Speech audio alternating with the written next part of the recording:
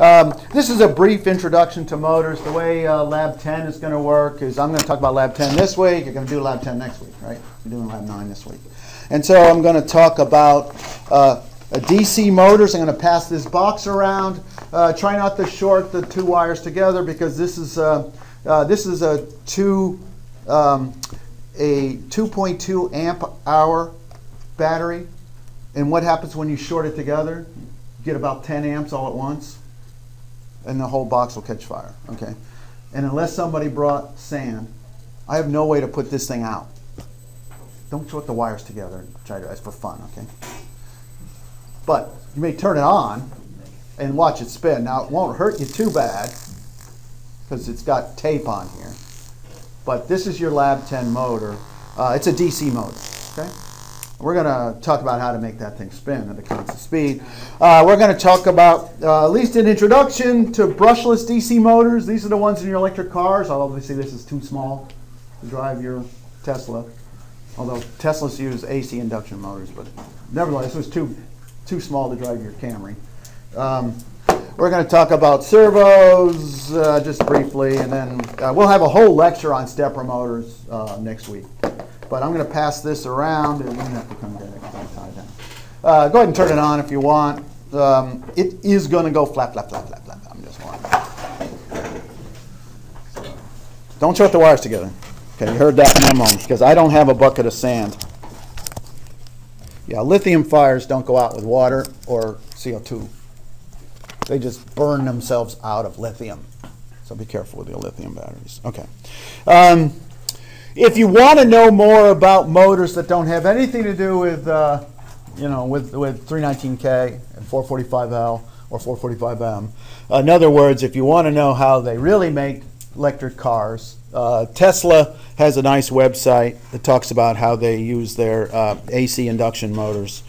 Um, a lot of the other, um, a lot of the other electric car manufacturers use um, brushless DC motors, and we will talk about them. All right.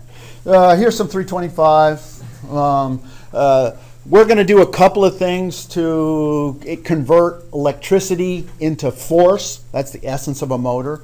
It turns out we can also convert force into electricity. That's a generator. Uh, most of these things work backwards.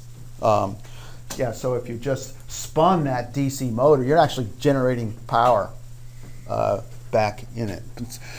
But the essence of a, um, of a motor is we're going to see a bunch of coils, you know, little circular wires, and again, I'll take break one apart when we get to the stepper motor to show you how these coils work. But if you pass current through a coil, it's going to induce a magnetic field in that direction.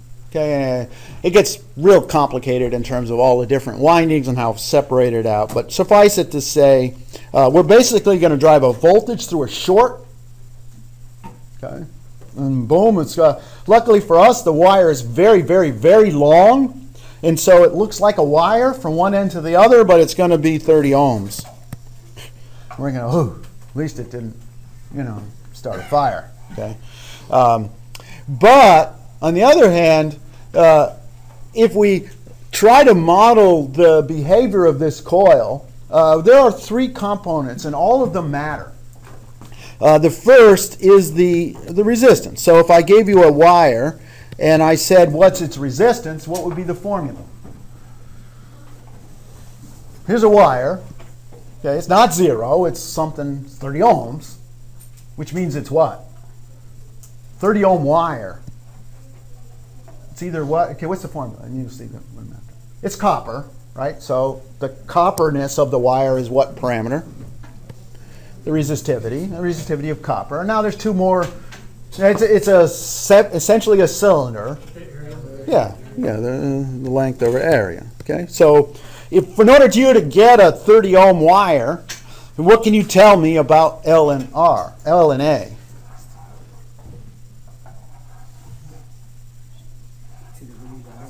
Well, it's both.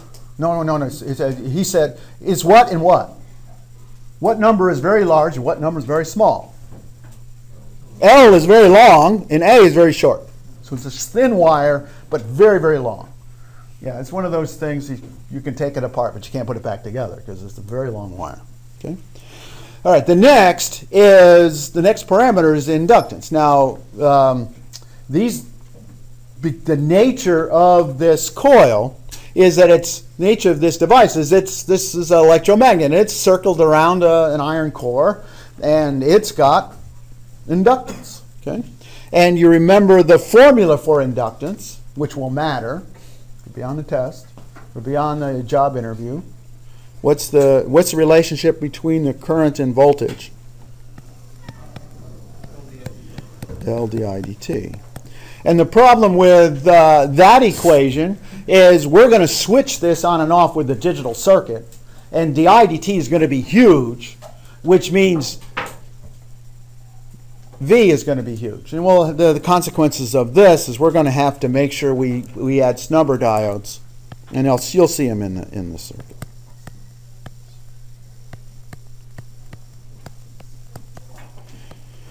One more consequence uh, I'm going to simplify the numbers for the for the for the protection of the professor. Okay, if I put a uh, five volts across a 20 um, a 25 ohm motor, okay, it's seven volts and it's 30 ohms, but close enough. Okay, uh, I would expect the current to be five over 25 or 200 milliamps. But what happens is when I actually measure it, okay, when I actually measure it, I am going to get an amp.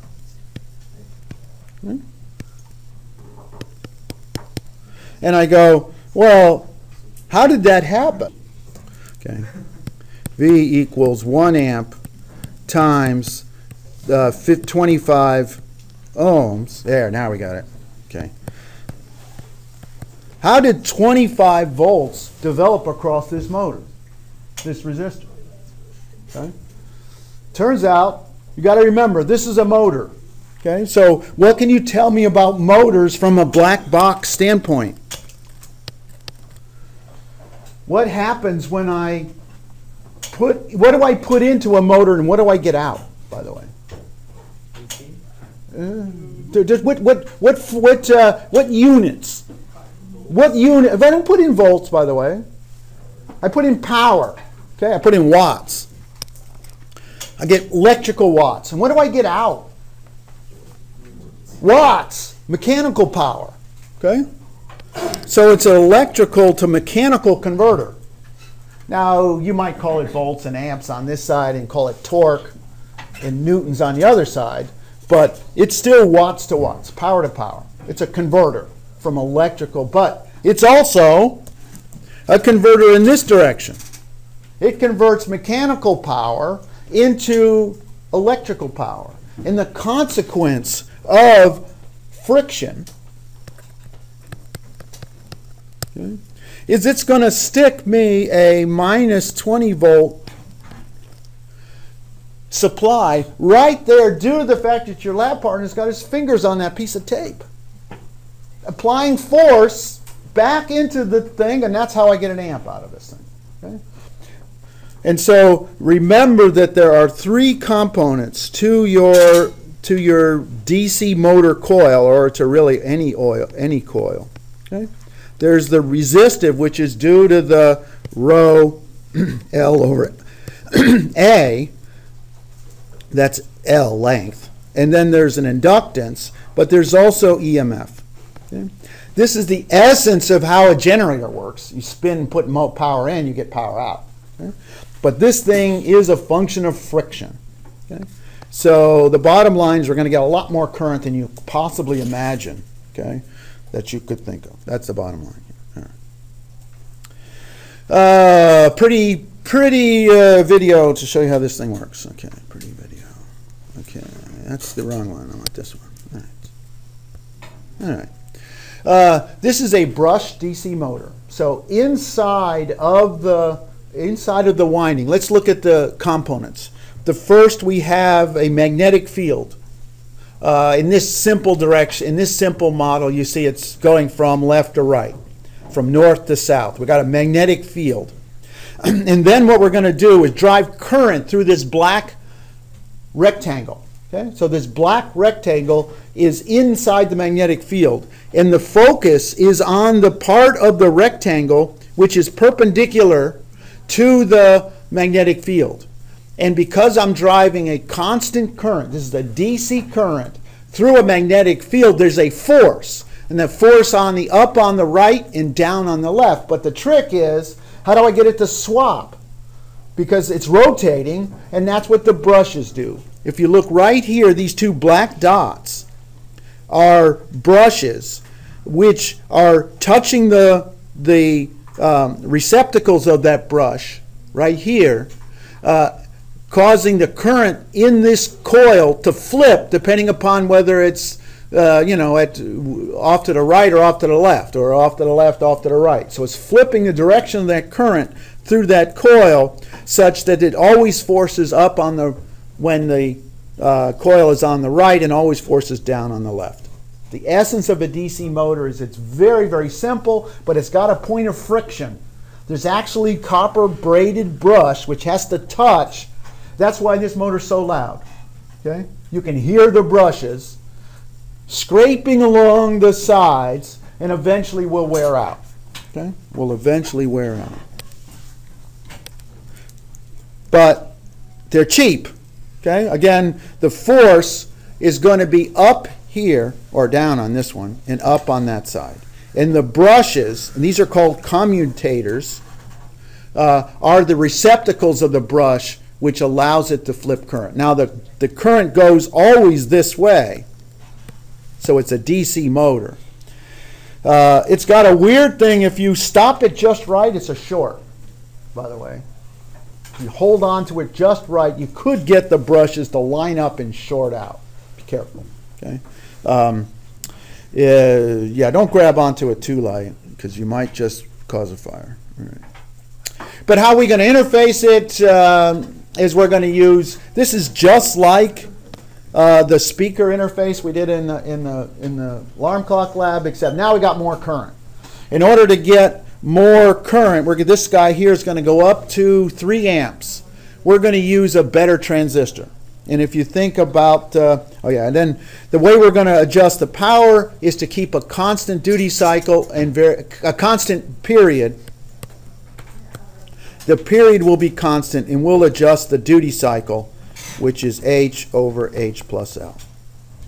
All right. So in order to get more current, we need more gain. So if you remember the uh, tip one, uh, the, the PN 2222 had a gain of of 100 and it uh, gave us a current almost an amp and oh, almost 100 milliamps. And now we're going to have a gain of a thousand. And it's basically this darlington is basically two transistors on top of each other. Okay essentially the essence of a darlington is multiple transistors and each one has current gain and boom the whole thing has a lot of current gain uh, we will choose a, a transistor which can match. I said if you grab onto it, you could get an amp. So this thing can su supply 3 amps until it explodes. Uh, and we're going to do the exact same formula that we did for the 2222 is we took the coil current that I wanted uh, divided by the current gain and saw I needed a milliamp base current. And you go, John, is that frightening? No, remember our our microcontrollers can you know drive up to eight milliamps before they get sad, um, and so that's not going to be scary. Uh, and then you calculate the resistor by looking at this voltage here. Say this voltage is 3 volts. Uh, let's say this um, VBE is 2.5 volts. And so I'll calculate the voltage drop across the resistor divided by the base current. And see, I need about 500 ohms, and then you do the Valvano thing. Well, if 500 ohms will drive it into saturation, 100 ohms will drive it way into saturation. And so I'll have 5 milliamps of current flowing into this thing, uh, driving up to 1 amp of collector current. Okay? And remember that the all none of these things are linear. Uh, but we'll measure them all. Okay, get out your ohm meter, get out your ammeter, and we'll measure all of this stuff. Um, we're going to drive it off 5 volts. Stay away from the 7 volt stuff. Um, now, if you pull 5 volts, if you pull an amp out of your USB, it'll shut off. So my advice is don't grab onto that motor while you're plugged into the USB. Uh, that particular battery can drive, as you saw, 2.2 amp hours. So it'll drive an amp for two hours until it goes out. But your USB will probably kick out if you drive more than half an amp. Uh, restart your re, re power cycle your computer. It'll come back on. All right. Uh, we're going to drive PWM. There's PWM starter code. I'd like just to focus down onto three things uh, associated with PWM. The first is the clock. Okay. So we're going to turn on the PWM clock. We're going to select the rate in which this PWM clock is going to run. Okay. Right here. Uh, right in this, these bits will set the rate of the PWM clock. So if you want to go really, really slow, you can divide it. But basically, we want to go really, really fast. Um, and then we have two parameters that matter. The load parameter will, will determine the period. That's the period of my PWM. And the compare value will set the duty cycle. So uh, basically, we're going to set this once and we're going to adjust this in the next program here. We're going to uh, set the compare value every time I want to change power to the system. Uh, remember that what you are delivering to the motor, the input to the motor is power. And so we can look at the formula for power, which is right here. The voltage, which is pretty much constant. Okay?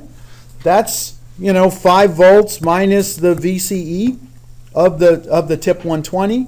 The current, which is highly variable and depends on load, on friction, but the software parameter we're controlling is duty cycle right there.